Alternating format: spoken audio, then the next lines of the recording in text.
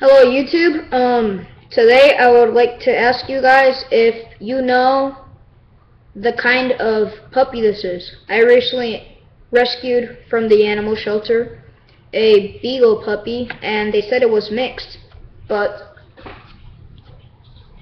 I don't know what it's mixed with. So here's a good look of her. She's about almost three months. She's pretty big already, probably 10 pounds.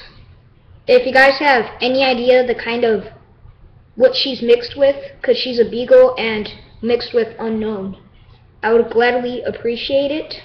She's like a light tan color. See, right here. And she's really funny. She says a lot of jokes. Like one day, she was on the couch, and I threw a chip on the ground. She went to take it, and then she put it back in the bag. And she's she she's really funny. Look look look at that joke she's doing right there. That that's just hilarious. I mean, it, I don't know why, but just everything she does is funny. And then I made this really long um, piece of string, and she chased me about 30 miles all the way to the downtown of my area running. She never gets tired. She drinks about five gallons of water a day and eats like a ton of food bowls. And she's really hyper.